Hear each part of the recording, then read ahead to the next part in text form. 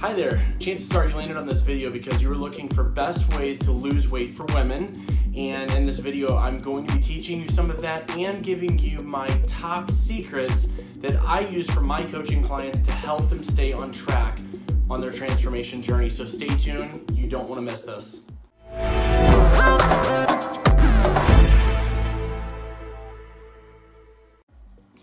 Hey, welcome to Lance Caron Coaching, where my mission is to eliminate any sort of confusion, help you to get the fastest and most sustainable results possible. So, thanks for tuning in. If it's your first time here, please hit the subscribe button. That really helps me to be able to deliver more content to you.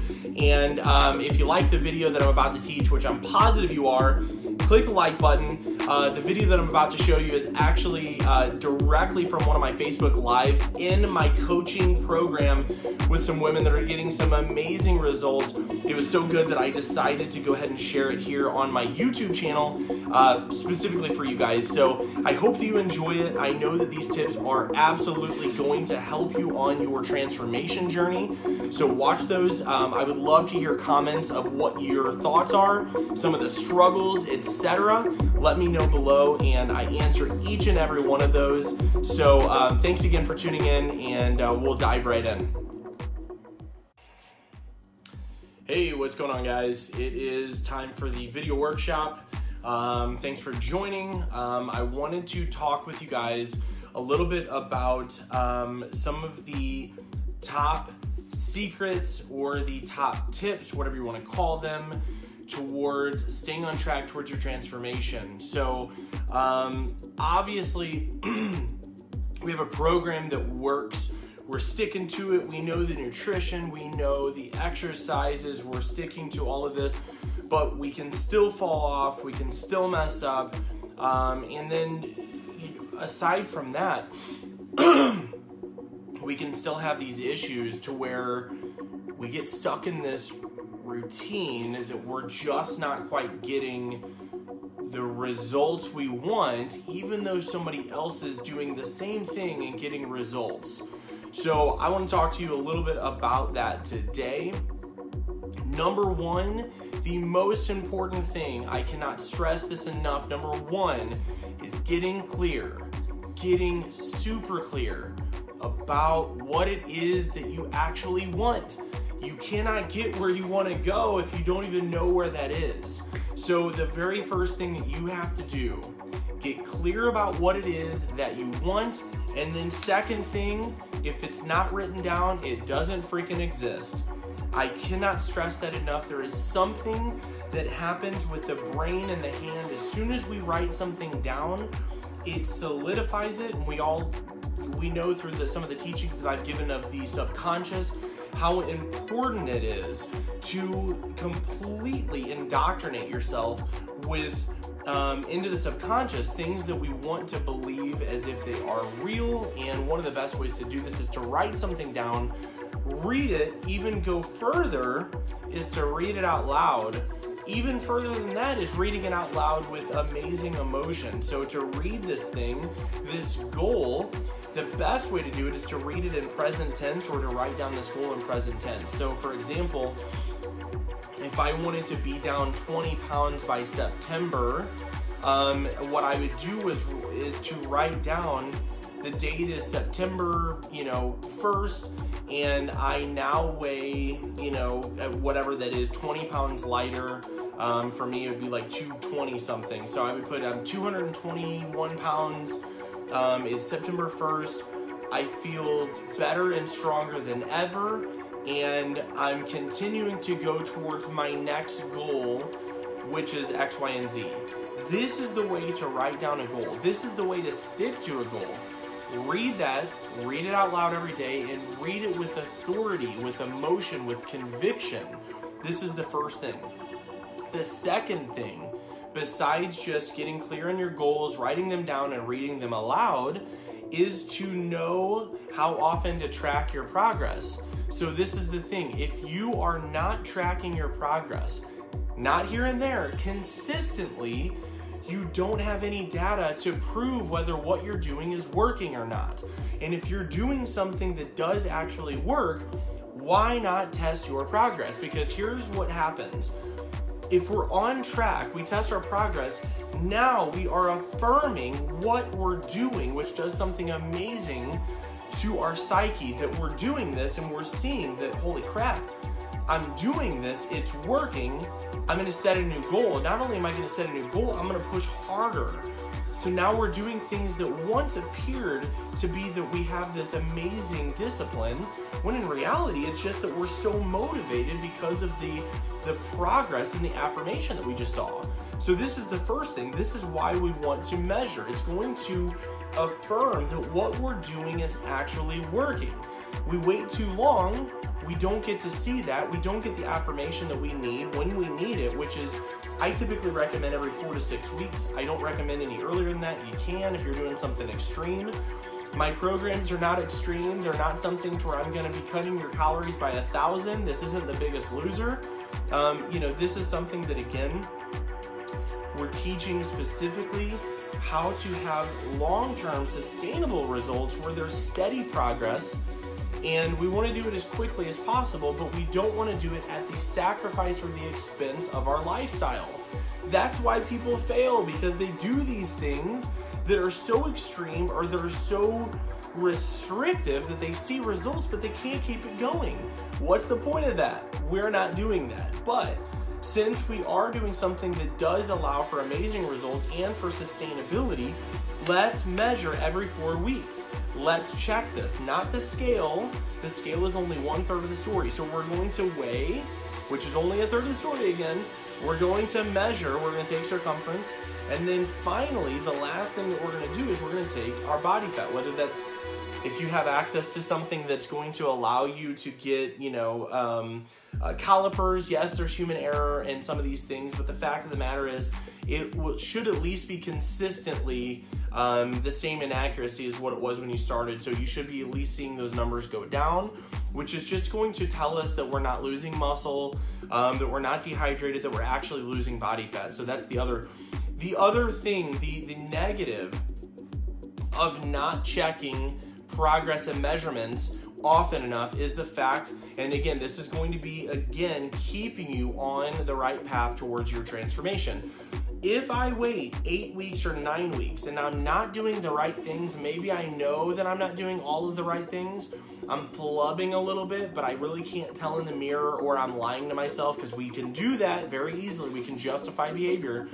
And I'm lying to myself a little bit saying it's not that bad, I'll pick it up in four weeks, if I'm measuring consistently in four weeks, what that's going to tell me is holy crap, I'm looking at the consequences of my actions, I'm going to change that. If I'm serious about my transformation, I'm going to change that. If I'm not, yes, that presents a different problem. But we're going to talk about the fact that if I wait eight weeks, nine weeks, 10 weeks because I'm burying my head in the sand or because I don't think it's that important, now what we have is instead of four weeks of doing things that are slightly flubbing and causing either less um, action or less results, we're actually getting worse results. We're getting worse, you know, progress. We're reverting or we're actually regressing even worse. It, it can either go to where four weeks of that happens and then I go back and fix this, or it can happen to where I have nine weeks, 10 weeks of this negative behavior. And now what's going to happen is because I waited too dang long, I get to the end of this, I check my progress, and now I feel defeated. This happens to so many people. They check their progress, but they didn't do it consistently because they didn't want to know the truth. They got to a point now that they feel like, oh my God, I'm worse than whenever I started, or I'm back to where I started. What's the point? What's the use? I've lost momentum, and not only that, I've regressed how difficult is that to stay on track if this is your mentality or if this is what you're doing on a regular basis? So I implore you to change that, measure often enough so that if you are going down a path that's not leading you to the transformation you want, it's four weeks instead of 10 or 12 or whatever. We can fix four weeks very, very quickly. We can tighten up a few things, okay? So that's on measurements, that's staying consistent so that you know where you're at. The final thing that I'm going to talk to you about, I could go on and on and on about different things, but what I'm going to talk to you about finally is the fact that you have to stop thinking to yourself that at any moment, if I get off track a little bit, that it means that I'm going to get fat again, or get skinny again, or lose my muscle again, or that it means that I'm going back to the lifestyle. We do this thing constantly that we're assigning meaning to what's happening all the time. It's the way that we're designed, and it's not necessarily what's happening to us, it's what we think is happening to us that we assign that meaning to. So, for example, for me, I have been working out now for 17 going on 18 years. I do not have a fear of going back to my old lifestyle. Why? Because it was forever ago. But I, even several years in, or even a year in, or six months in, I didn't constantly think that if I missed a workout, that it automatically meant that I'm somehow in danger of going back to the, the way that it was before, where I didn't work out, didn't care what I ate, and didn't pay attention, which means less self confidence, feeling worse about myself, and feeling like there was no point to things, blah, blah, blah. Because this is what happens. We start thinking that if we miss something or if we mess up on a meal, that it somehow equivocates to this old lifestyle that we so desperately wanted to get out of. So you have to stop associating that just because you missed a meal, you, you messed up on something or whatever. Don't see this as an all or nothing scenario. This isn't the way that it goes. You're going to have times that you mess up. You're going to mess up on a meal. Who cares? Get back on it. The fact of the matter is is that this is your lifestyle. And this is a marathon, it's not a sprint, which simply means that in the grand scheme of things, if you lay out a timeline of your fitness progress, your transformation, your journey, call it whatever you will, the fact of the matter is, this meal, this week of missing workouts, this week of messing up your meals, it is a drop, a tiny drop in the bucket of the grand scheme of your journey. But you have to decide the same way that whenever you become a parent, you decide that these are your kids come hell or high water, no matter whether you're proud or not proud at the moment or whatever, at no point do you fear that all of a sudden you're childless because your child messes up. And I know that this seems ridiculous to make that analogy or that comparison, but the fact of the matter is, it's never something that we think about whenever things don't go the way that we plan to think that oh my god now i'm gonna i'm gonna turn into a single parent or i'm gonna turn into a you know a, uh, a childless individual again. We just don't think about other things that way, but we're constantly in fear of losing any progress or losing this lifestyle that's leading us to a better way. So as soon as we mess up on something, we automatically assign this meaning to it that's like, oh, I'm messing up because it means that I'm going back to this way that I was before.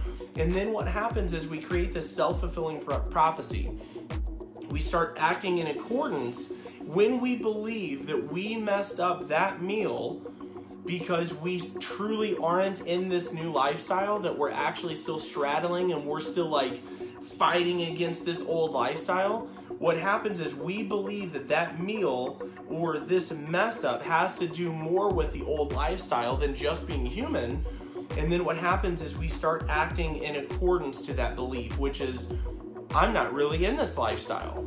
I am still struggling with this, and in any moment I could go back to that. That's not the mentality that we need to have. So my my goal for you is to stop thinking and to stop associating yourself with where you were before, even if it was just yesterday. And, and yesterday is the day that you just started, you know, with your program, your transformation journey. Stop identifying and associating yourself with yesterday, no matter when it was.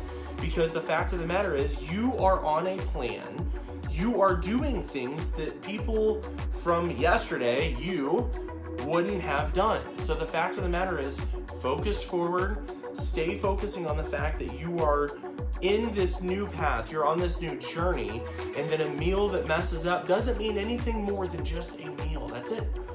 It just means that you were tempted by something and you just felt like doing something that was outside of what you normally do. But you need to associate with the lifestyle that you are on is your normal. From here on out, it's your normal. Stop thinking about I have 20 pounds to lose or 30 pounds to lose. Start focusing on the process and less on the result.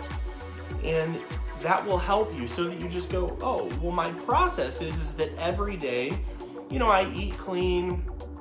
I, and, and that can be whatever it is. I'm not going to go on that tangent because I teach all kinds of flexible dieting techniques, etc.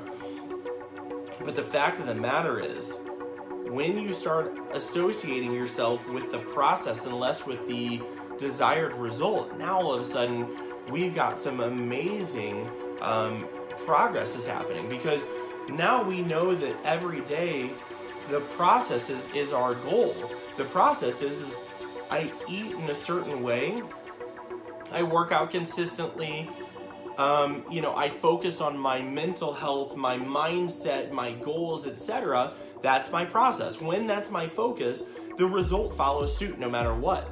But if I'm focused on, oh, I've got to lose this 30 pounds and that's the most important thing to me, as soon as I do something that doesn't line up with what that goal might be, I begin to fear and that trigger comes up, and then that's whenever I start falling off and making worse mistakes. So focus on the process. That's the most important thing right now. This will keep you on the right path. So I hope that these things help you. I have no idea how many tips I gave you, but the fact of the matter is, these are the best possible secrets that will keep you on track towards your transformation journey. So thanks for tuning in. Um, I can't wait to hear. Uh, I would love to hear your comments below. So if you have questions on some of these things, maybe it triggered something for you, comment below. And um, if it resonated with you, like the video too, so that I can know that I'm on the right path and know that uh, I'm getting your feedback and I will adjust what I'm teaching for what you guys have. So thanks again, and I will see you on the next one.